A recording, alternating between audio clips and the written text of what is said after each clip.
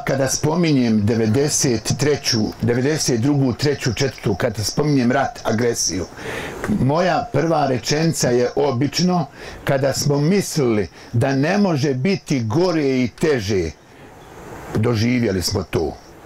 Kada su nas s one strane napali sa, iz svih pravaca i raznim oružjima i oruđima, onda smo doživjeli 93. godine u šestom mjesecu da su nas napali s ove strane druge komšije.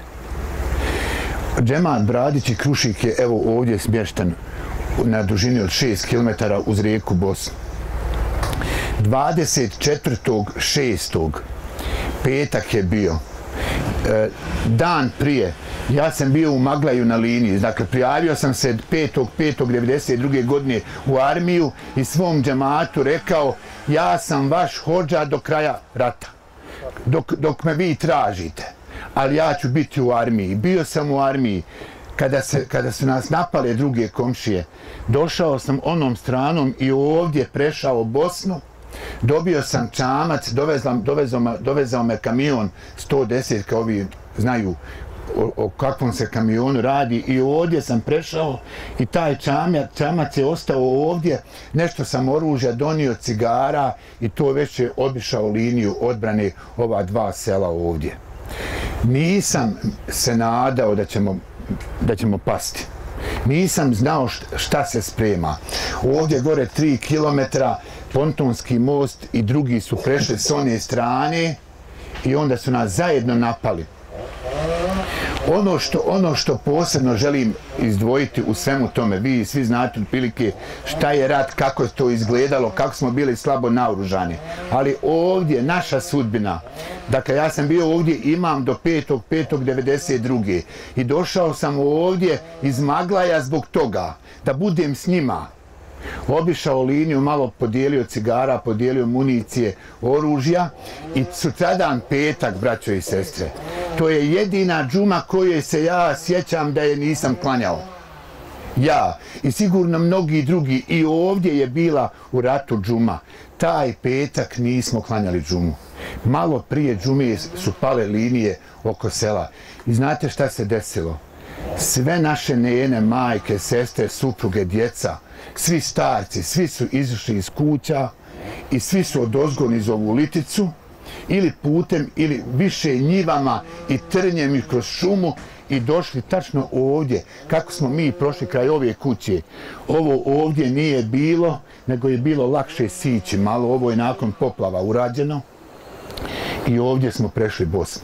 Ali ne svi nego samo muškarci i pojedine žene Bosna nije bila ovakva. Prije ta, te godine ili to, ti, ti dana, nekoliko dana je padala kiša i Bosna je bila duboka, jaka, nadošla. Jednostavno nismo mogli se boriti protiv Bosni. Ali znate šta su radile naše majke?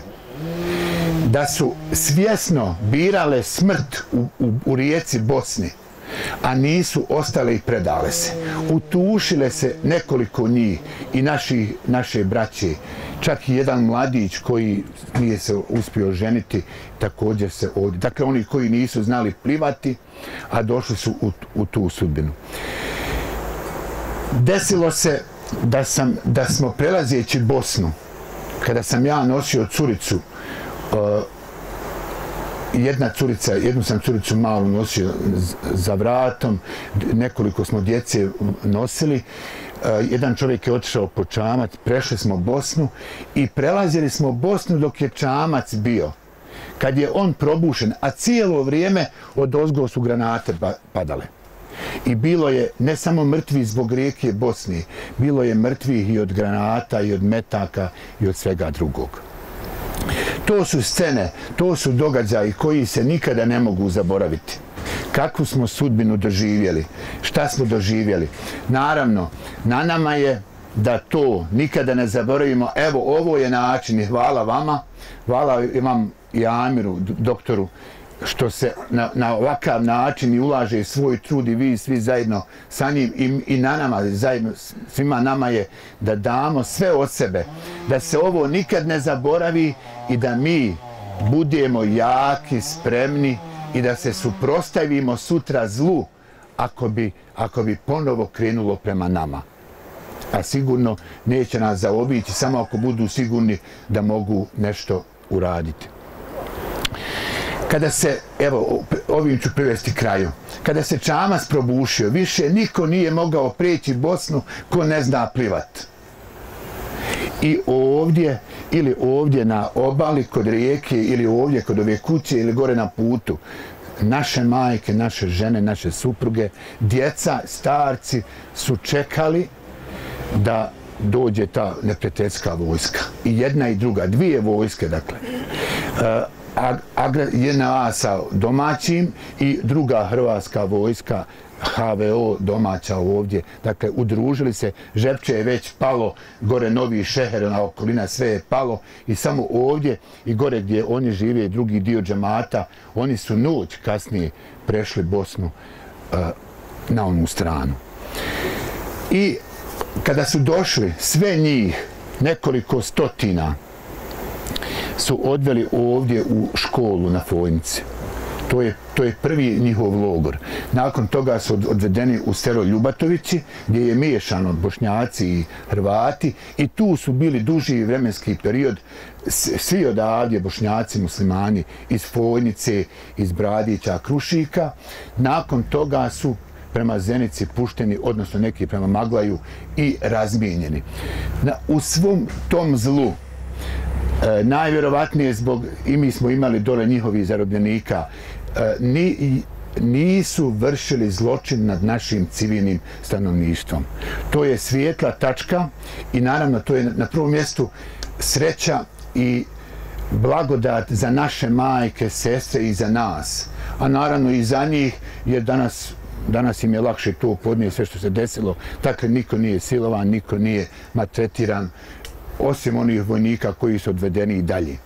I nakon kada se potpisao mir između ove dvije strane, onda su svi naši zarobljenici, da znate, kad se budete vraćali prema Zenci, evo sa ovim ću završiti, pored žepačkih hangara, žepački tunel koji morate proći, on je bio pun od kraja do početka bošnjacima, muslimanima, Maglaja, Šehera, odavdje Bradića. Dakle, i to je korišteno kao logor. Ja molim Allaha Đelešanu da nas sačuva od sličnih iskušenja i molim Allaha Đelešanu da generacije koje dolaze ako Bog da ovdje na, u našu domovinu e, koji, koji, koji će i na Balkanu da budu ako Bog da i jači od nas i snažniji i da budu bolji muslimani i da budu bolji bošnjaci, da budu bolje gazije i da ljepše žive od nas. Amen.